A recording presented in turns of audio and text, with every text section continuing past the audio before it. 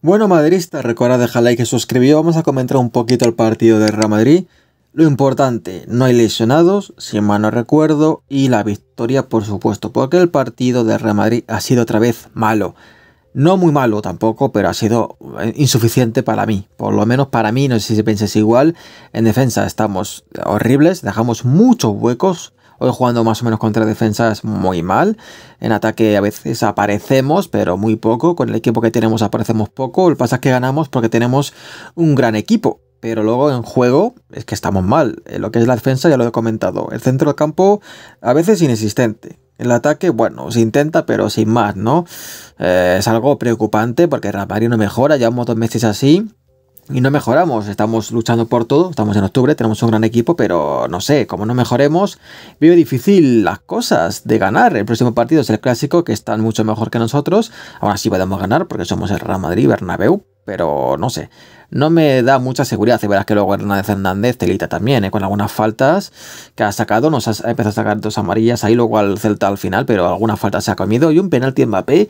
La primera parte me parece que me falta ver me falta ver un poco más porque tienen con mis dudas, pero bueno. Y el partido, de verdad, no sé, los cambios raros también. Ha cambiado a Mbappé por Ceballos. No sé, la final, fíjate, Modric ha entrado como suplente. Ha sido un jugador muy importante para ganar el partido. Fíjate cómo son las cosas, ¿no? Eso que físicamente no aporta mucho porque tiene ya 38 años.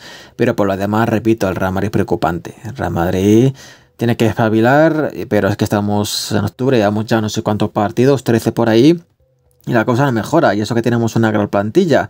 Hay jugadores que, bueno, no están a un gran nivel, en los laterales Lucas y Fran, sin más, eh, la, la, defensa, repito, mal, todos, menos Courtois, que es el mejor.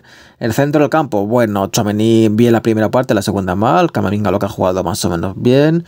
Eh, la demás, bueno, Valverde tal, bueno, Bellingham he visto un poco más flojo, Mbappé bien en la primera parte, eh, Vinicius bien de lo mejor, la verdad, pero lo demás es que se queda todo escueto.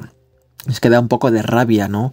No terminamos de carburar, pero estamos ganando los partidos, estamos vivos, que es lo importante. Así que a ver si espabilamos, porque si no, no sé qué pensar, la verdad. Pero vamos, poco a poco, señores, por lo menos vamos a intentar ser optimistas, aunque cueste un poquito.